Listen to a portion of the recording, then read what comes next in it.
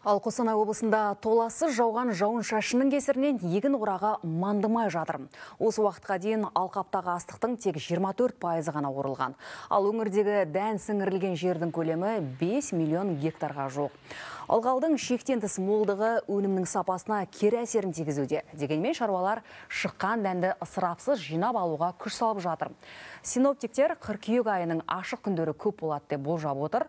Ауа райының ысырапқа ұрынбаса, биыл облыс бойынша 5 миллион тоннаға жуық астық жиналуы тиіс. Мамандардың болжамы осындай. сыртынан қарағанда бұл ә, мана масақ әп болып тұрғанмен орған кезде ол түсім азайып қалады науқан кезінде де міне жауын жауын күнде жауын болып көп қиыншылықтар болып тұр бұл кезеңде біз бұрынғы не еккен егістігіміздің жарты тең жартысын алып үлгеретінбіз бүгінгі күнде где то он он бес пайызын ғана алып отырмыз